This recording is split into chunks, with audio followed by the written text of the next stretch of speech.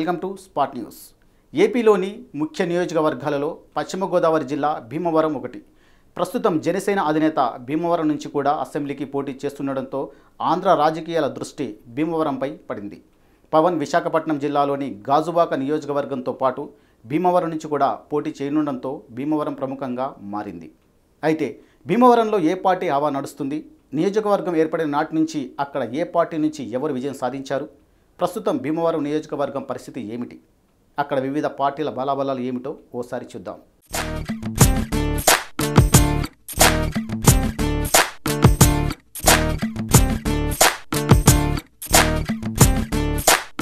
Bhimavaram assembly నియోజకవర్గం పంతొమ్మిది వందల యాభై ఐదులో ఏర్పడింది.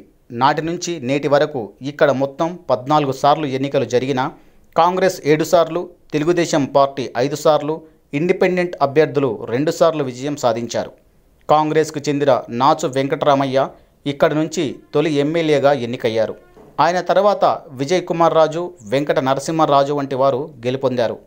ఇక్కడ కాపు క్షత్రియ సామాజిక వర్గం ప్రాబల్యం ఎక్కువ. అయితే ఎమ్మెల్యేలుగా గెలుపొందిన వారిలో క్షత్రియ సామాజిక వర్గం వారే అధికంగా ఉన్నారు. మొదటి నుంచి భీమవరం నియోజకవర్గం కాంగ్రెస్ పార్టీకి కంచుకోట. తెలుగుదేశం పార్టీ ఆవిర్భావం తర్వాత తెలుగుదేశం పార్టీ ఆవిర్భావం తర్వాత భీమవరంలో కాంగ్రెస్ ప్రభావం తగ్గి తెలుగుదేశం పార్టీ అవా కొనసాగింది. ప్రస్తుత భీమవరం ఎమ్మెల్యే పులపర్తి రామాంజనేయులు కూడా తెలుగుదేశం పార్టీ నాయకుడే. పులపర్తి ఆంజనేయులు రెండు వేల తొమ్మిదిలో తొలిసారిగా కాంగ్రెస్ నుంచి ఎమ్మెల్యేగా విజయం సాధించారు. ఆ తర్వాత రెండు వేల పద్నాలుగు ఎన్నికల్లో ఆయన తెలుగుదేశం పార్టీ నుంచి ఎమ్మెల్యేగా విజయం సాధించారు. ప్రస్తుతం భీమవరంలో తెలుగుదేశం పార్టీయే బలమైన పార్టీగా కొనసాగుతుంది. అంజిబాబు అని భీమవరం నియోజకవర్గం ప్రజలు పిలుచుకునే ఆంజనేయులు ఆయాంలో భీమవరం చెప్పుకోదగిన అభివృద్ధి సాధించలేదనే ప్రచారం కూడా వినిపిస్తుంది. ఆయనపై వ్యతిరేకత ఉందనే మాట పక్కన పెడితే పూర్తిగా రాజకీయాలకే కొత్తగా అయినటువంటి జనసేన పార్టీ ఇప్పుడు భీమవరంలో పోటీలో ఉంది. అది కూడా స్వయంగా జనసేన అధినేత పవన్ కళ్యాణ్ స్వయంగా భీమవరం ఎమ్మెల్యే స్థానానికి పోటీలో ఉన్నారు. భీమవరం అసెంబ్లీ నియోజకవర్గం పరిధిలో మొత్తం రెండు లక్షల పది వేలకు పైగా ఓటర్లు ఉన్నారు. వీరిలో అత్యధికం కాపు సామాజిక వర్గానికి చెందినవారు కాగా ఆ తర్వాత స్థానంలో క్షత్రియులు బీసీలే ఉన్నారు. గత పదేళ్ళుగా ఇక్కడ చెప్పుకోదగిన అభివృద్ధి జరగలేదు అనేది స్థానికుల అభిప్రాయం. మేజర్ మండలాలు ముఖ్య పట్టణ ప్రాంతాలలో కూడా సరైన రోడ్ల సదుపాయం లేదని జరగాల్సిన అభివృద్ధి చాలా ఉందని సమాచారం. రోడ్లు డ్రైనేజీ మంచినీరు వంటి కనీస సదుపాయాల కల్పనలోనే పాలకుల్లో నిర్లక్ష్యం ఉందని స్థానిక ఓటర్ల అభిప్రాయం. ఇక ప్రస్తుత ఎమ్మెల్యే అంజిబాబుపై కొన్ని అవినీతి ఆరోపణలు కూడా వినిపించడం గమనార్హం. భీమవరం తెలుగుదేశం పార్టీలోని కొన్ని అంతర్గత సమస్యలు కూడా ఆ పార్టీ అభ్యర్థి విజయంపై ప్రభావం చూపనున్నాయి. ఇక కాంగ్రెస్ పార్టీ విజయానికి వస్తే రెండు వేల తొమ్మిది ఎన్నికల్లో కాంగ్రెస్ తరఫున గెలిచిన అంజిబాబు ఆ తర్వాత రెండు వేల పద్నాలుగు ఎన్నికల్లో తన పూర్తి అనుచరగణంతో తెలుగుదేశం పార్టీలోకి మారడంతో అక్కడ కాంగ్రెస్ పరిస్థితి దాదాపు శూన్యంగా మారింది. ప్రస్తుతం కాంగ్రెస్ పార్టీ ఎన్నికలను ప్రభావితం చేయగల పరిస్థితుల్లో ఉందా అనేది కూడా ఆలోచించాల్సిన విషయమే. అన్నింటికీ మించి భీమవరం ఎన్నికలను ప్రభావితం చేసే అతిపెద్ద అంశం జనసేనాని పవన్ కళ్యాణ్ ఇక్కడి నుంచే పోటీ చేయటమే. ఇప్పటిదాకా అయితే కాంగ్రెస్ లేదంటే తెలుగుదేశం అన్నట్టుగా ఉన్న భీమవరం పరిస్థితి ఇప్పుడు పూర్తిగా మారిపోవడంతో మొత్తం ఆంధ్రప్రదేశ్ రాజకీయం ఒకసారిగా భీమవరంపై దృష్టి సారించాల్సిన పరిస్థితి ఏర్పడిందని చెప్పొచ్చు.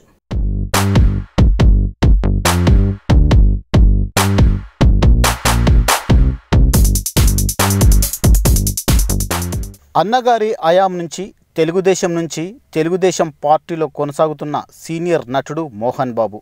ఇప్పుడు పార్టీని వదిలి వైఎస్ఆర్ కాంగ్రెస్ పార్టీ తీర్థం పుచ్చుకోవటం రాజకీయ వర్గాల్లో చర్చనీయాంశంగా మారింది. తెలుగుదేశం పార్టీ వ్యవస్థాపకుడైన ఎన్టీ రామారావు అంటే మోహన్ బాబుకు ఎనలేని అభిమానం. ఆ అభిమానం సోదర భావంతోనే అన్నగారి అయాంలోనే తెలుగుదేశం పార్టీ ద్వారా తన రాజకీయ ప్రయాణం మొదలుపెట్టారు మోహన్ బాబు. మరి అలాంటి తెలుగుదేశం పార్టీని మోహన్ బాబు ఎందుకు విడాల్సి వచ్చింది? తెలుగుదేశం పార్టీకి వ్యతిరేక పార్టీ అయిన వైఎస్ఆర్ కాంగ్రెస్ పార్టీలోకి ఎందుకు మారాల్సి వచ్చింది? అసలు మోహన్ బాబు చంద్రబాబుకు వ్యతిరేకంగా ఎందుకు మారాల్సి వచ్చింది? తెలుగు సినిమా పరిశ్రమలో నలభై సంవత్సరాలు పూర్తి చేసుకున్న సీనియర్ మోస్ట్ నటుడు మోహన్ బాబు. క్రమశిక్షణ గల నటుడుగా విలువలు పాటించే నిర్మాతగా విద్యానికేతన్ విద్యా సంస్థల అధినేతగా ఇలా ఆయనలో ఎన్నో కోణాలున్నాయి. అందుకు పూర్తి భిన్నమైన కోణం ఆయనలోని రాజకీయ కోణం. తెలుగుదేశం పార్టీ నుంచి ప్రత్యక్ష రాజకీయాల్లోకి వచ్చారు మోహన్ బాబు. ఆ పార్టీ కోసమే ప్రచారం చేశారు. ఆ పార్టీ తరఫునే పంతొమ్మిది వందల తొంభై ఐదు నుండి రెండు వేల ఒకటి వరకు ఆరు సంవత్సరాలుగా రాజ్యసభ సభ్యుడిగా ఇటు పార్టీకి అటు ప్రజలకు సేవలందించారు. రాజ్యసభ సభ్యుడిగా పదవీకాలం పూర్తి చేసుకున్న తర్వాత మళ్ళీ ఏ పదవికి ఆయన పోటీ చేయలేదు. కానీ తెలుగుదేశం పార్టీలో మాత్రం కీలకంగానే వ్యవహరించారు. ఎన్నికల వేళ ఆయన మాటకు పార్టీ అధినేత చంద్రబాబు మంచి విలువ ఇచ్చేవారని చెప్పుకుంటారు. కొంతమంది నేతలకు పార్టీ టికెట్లు ఇవ్వటంలో కూడా మోహన్ బాబు కీలక పాత్ర పోషించేవారట. అందుకే ఎన్నికల హడావుడి మొదలైందంటే మోహన్ బాబు ఫుల్ బిజీగా మారిపోయేవారు. ఎన్టీఆర్తో ప్రత్యక్ష సంబంధం ఉండి ఆయనకు ఇష్టమైన వ్యక్తుల్లో మోహన్ బాబు కూడా ఒకరు కావటం వల్ల ఆయన మాటకు చంద్రబాబు అంత విలువ ఇచ్చేవారని అనుకోవచ్చు. రాయలసీమ రాజకీయాల్లో కూడా మోహన్ బాబు తెలుగుదేశం పార్టీ తరఫున కీలక పాత్ర పోషించేవారు. ముఖ్యంగా దివంగత నాయకుడు పరిటాల రవీంద్ర కోసం ఆయన తెలుగుదేశం పార్టీ తరఫున కొన్ని విషయాల్లో స్వయంగా కలగజేసుకొని నిర్ణయాలు తీసుకునేవారు. కానీ గత కొద్ది సంవత్సరాలుగా తెలుగుదేశం పార్టీలో మోహన్ బాబు అవా తగ్గినట్లే కనిపిస్తుంది. ఇంతకుముందు పార్టీ విషయంలో మోహన్ బాబు వ్యవహరించినంత కీలకంగా ఇప్పుడు కనిపించటం లేదని చెప్పొచ్చు. అందుకు కారణాలేమైనా మొత్తానికి పార్టీకి మోహన్ బాబుకు మధ్య దూరం మాత్రం బాగా పెరిగింది. తాజాగా ఆయన వైసీపీ తీర్థం పుచ్చుకున్న నేపథ్యంలో ఆయన మాట్లాడిన మాటలు ఏపీ రాజకీయాల్లో దుమారం లేవదీసినట్టుగానే కనిపిస్తుంది. వైసీపీలో చేరిన తర్వాత ప్రెస్ మీట్లో ఆయన మాట్లాడుతూ చంద్రబాబుపై విమర్శలు చేయటం పార్టీ గురించి కొన్ని విషయాలు బయటపెట్టడం తెలుగుదేశం పార్టీని నాయకత్వాన్ని తీవ్రంగా విమర్శించడం కనిపించింది. దీన్ని చూస్తే మోహన్ బాబుకు చంద్రబాబుకు వ్యక్తిగతంగా పెద్ద గ్యాప్ వచ్చినట్టు మాత్రం స్పష్టంగా కనిపిస్తుంది. చంద్రబాబు వ్యవహార శైలే మోహన్ బాబు పార్టీకి దూరం కావటం వెనుక పెద్ద కారణం అన్న మాట మాత్రం కాదనలేని సత్యం. అయితే తెలుగుదేశం పార్టీకి బద్ద వ్యతిరేక పార్టీ అయిన వైసీపీలో ఆయన చేరటం మాత్రం చాలా పెద్ద విషయమే. నామినేషన్ల గడువు పూర్తయిన తర్వాత మోహన్ బాబు వైసీపీ తీర్థం పుచ్చుకోవడం వెనుక పదవీకాంక్ష ఏమీ లేదన్న విషయం మాత్రం అర్థమవుతుంది. వైసీపీ గెలుపు కోసం పనిచేసి ఆ పార్టీ అధికారంలోకి వస్తే ప్రభుత్వం ఏర్పాటు చేసిన తర్వాత ఏదైనా పదవిని మోహన్ బాబు ఆశించే అవకాశం కూడా లేకపోలేదు.